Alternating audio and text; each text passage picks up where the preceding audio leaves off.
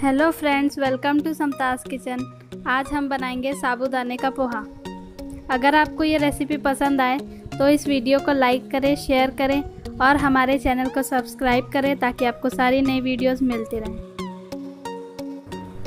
सबसे पहले हम एक कढ़ाई में तेल डालकर इसे गर्म कर लेंगे और इसमें थोड़ा सा जीरा डालकर इसे चटकने देंगे। अब हम इसमें उबले हुए आलू डाल लेंगे।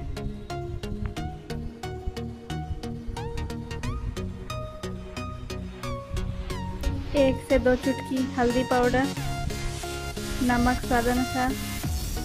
डाल लेंगे और इसे फ्राई होने देंगे जब तक ये गोल्डन और क्रिस्प नहीं हो जाता।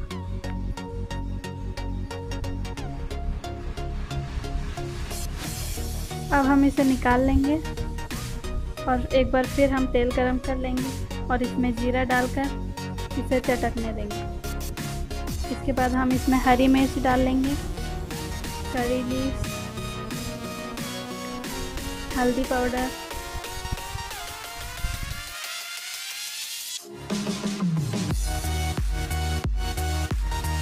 हमने साबुदाने को अच्छे से धो लिया है और इसे मलमल के कपड़े में दो घंटे के लिए बाँध कर रख दिया था अब हम इसे कढ़ाई में डाल देंगे और इसे अच्छी तरह मिक्स कर लेंगे।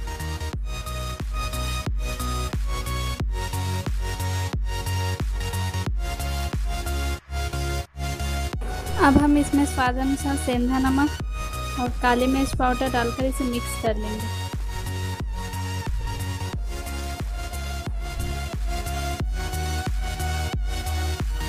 करने के बाद अब हम इसे ढककर पाँच से सात मिनट के लिए मीडियम फ्लेम पे पका लेंगे।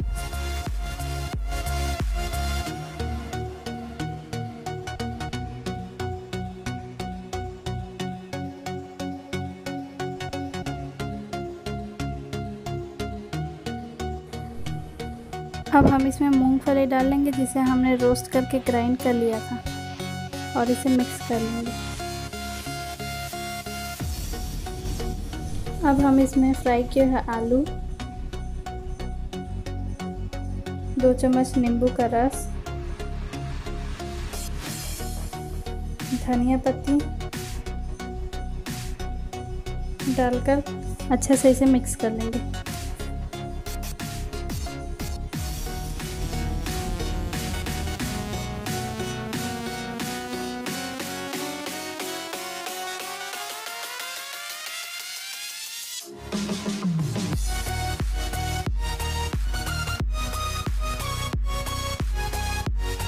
हमारा साबुदाने का पोहा बनकर बिल्कुल रेडी है।